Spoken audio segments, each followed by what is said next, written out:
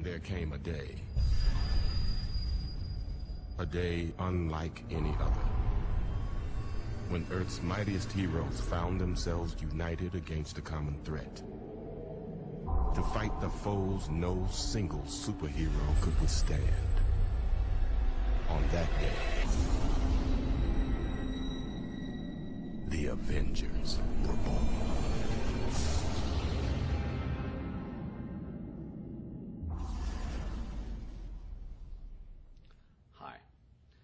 It's been a while. It's been several years, in fact, since they took the sky from me, and we somehow took it back.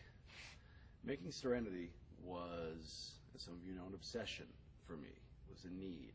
A need to be heard, to exist, not to be snuffed out. Like the show, uh, the movie was very much about the experience of making it. The victory was brief and costly and ended without much fanfare. Except, of course, that it didn't end.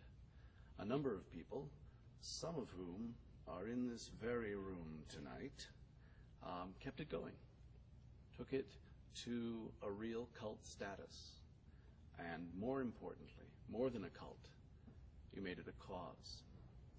To date, through these screenings, the Browncoats have raised over half a million dollars for Equality Now, and a lot of money for other charities as well. I can take credit for exactly none of this, but I can take a minute to tell you what it means and what it means to me.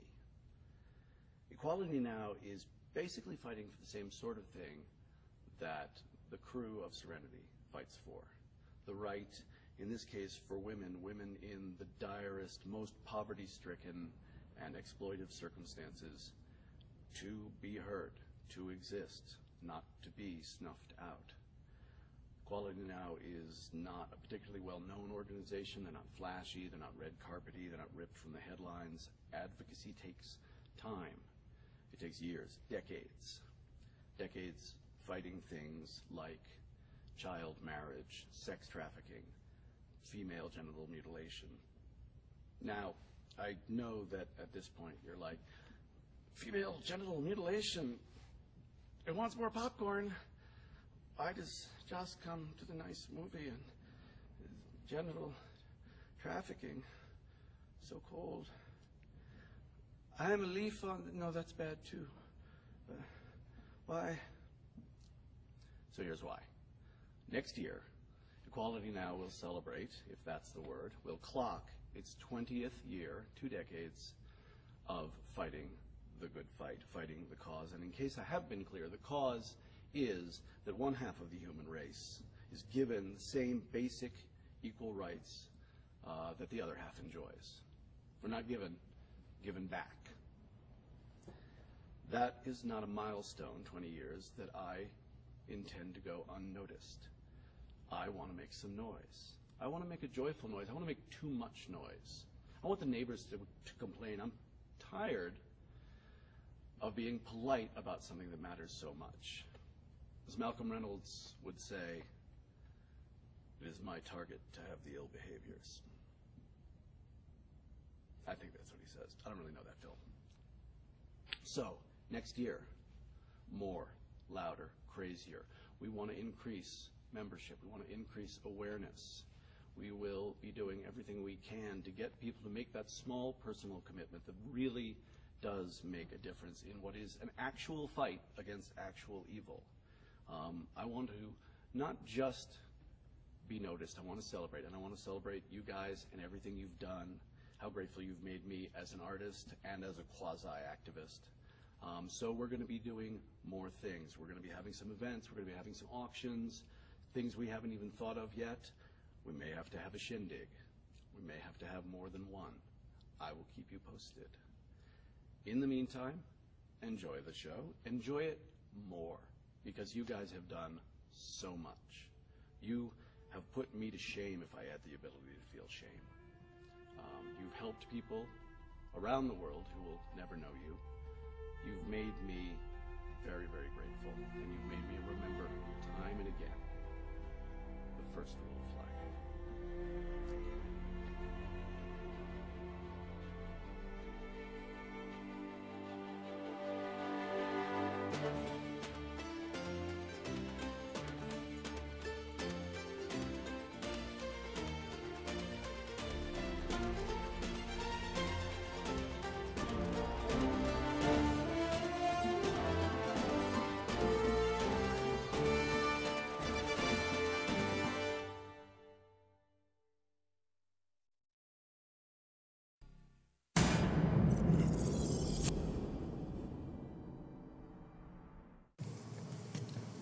Hi, I'm Nathan Fillion.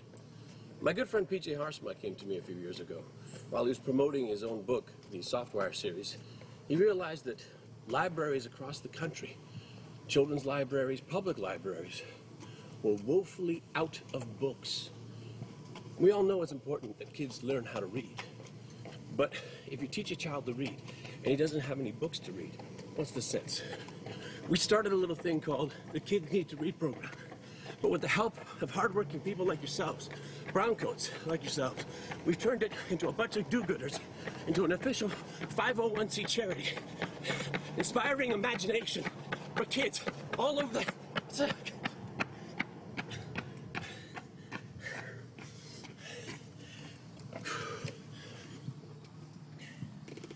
What now?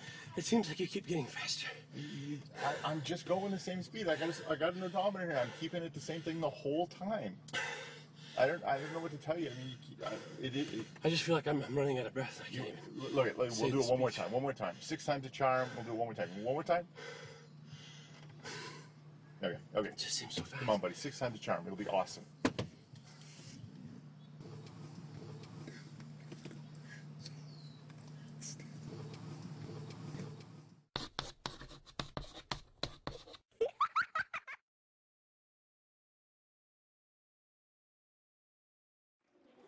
Hi Joss, thanks for coming out here. So I was in a literature class the other day and we were asked to think of male feminist authors and you were the first one that came to mind. Um, my question is, why do you consistently include strong female characters in your writing? But they're awesome! I'm sorry, I don't understand the question. Um, um, was it why do I write them? Yes. Uh, there is a video on YouTube that can help you with this surrounded uh, tonight by people um, of extraordinary courage.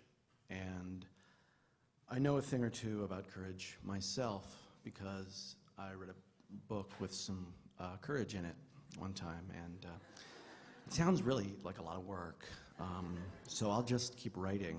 Um, I write, uh, the most courageous thing that I've ever done is something called a press junket. Um, uh, which is actually pretty courageous, believe me, because uh, they ask you the same questions over and over and over and over and over and over. Um, I've done as many as 48 in a day, um, these interviews, and they really, they don't come up with the fresh stuff. So um, there is one question that I've been asked uh, almost every time I've been interviewed. Um, so I thought tonight, uh, briefly, I would share with you one question and a few of my responses because when you're asked something 500 times, you really start to think about the answer. So now I will become a reporter. It's going to be amazing, a transformation. So, Joss, um, I, a reporter, would like to know uh, why do you always write these strong women characters? I think it's because of my mother. Uh, she really was um, an extraordinary, inspirational, tough, cool, sexy, funny woman, and uh, that's the kind of woman I've always surrounded myself with. It's my friends, uh, particularly my wife, who is not only um, smarter and stronger than I am, but occasionally taller too, um, but only sometimes taller. Um, and uh, I think it, it it all goes back to my mother. So, why do you write these strong women characters?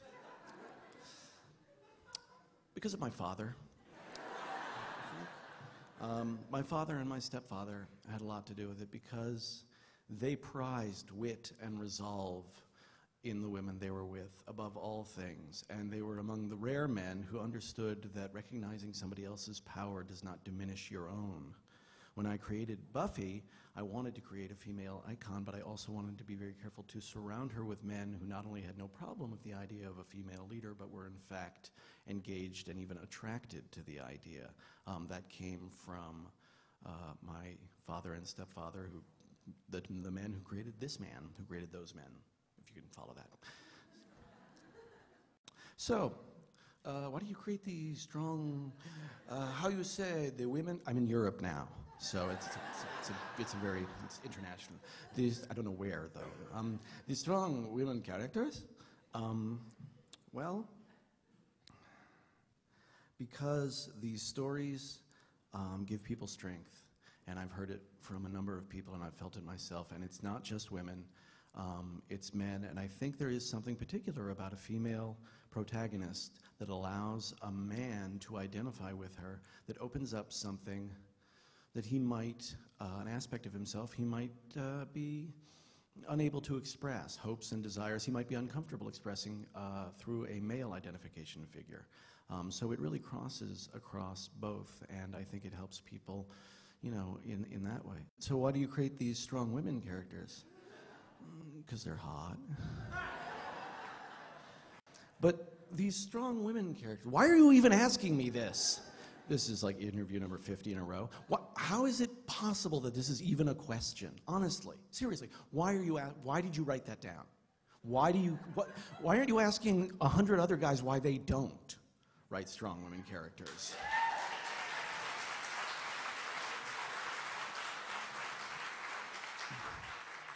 I believe that what I'm doing should not be remarked upon, let alone honored. And there are other people doing it. But seriously, this question is ridiculous, and you just got to stop. So, why do you write these strong women characters? Because equality is not a concept.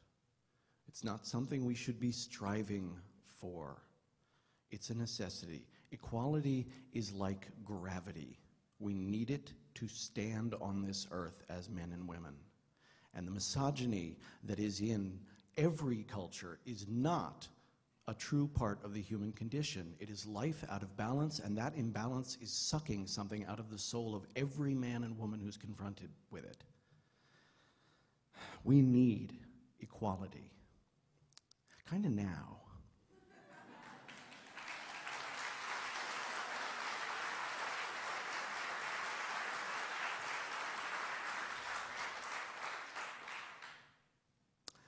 So, why do you write these strong female characters?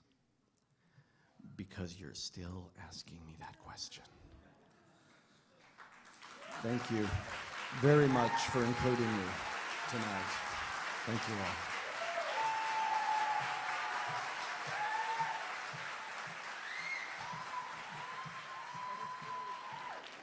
Uh, uh, look, up Equality Now, my name. And, uh, and you should look up Equality Now anyway. Um,